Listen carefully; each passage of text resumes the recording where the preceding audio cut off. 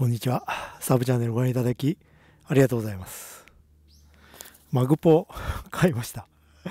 まあ、オープンタイプでね、まあ、普通に2連ぐらいのタイプでいいかなと思ったんですけど、これ、USB Type-C でね、充電して温められるらしいんですけど、なんか外れなのかな？ちょっとちゃんと説明書読んでないんでね。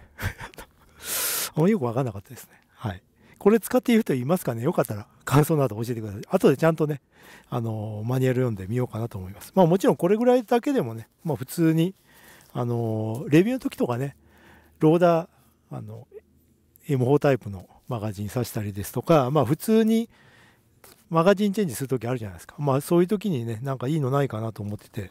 で、やっぱり中になんか入ってる分、ちょっとね、肉厚で、まあちょっと柔らかめでと。で、まあこちらは、後ろはちょっと硬めになってるんで、まあ普通にマグポとして、まあ使えるかなという。あ、こっちもそうか。ふわふわクッションがあって、いいですね。はい。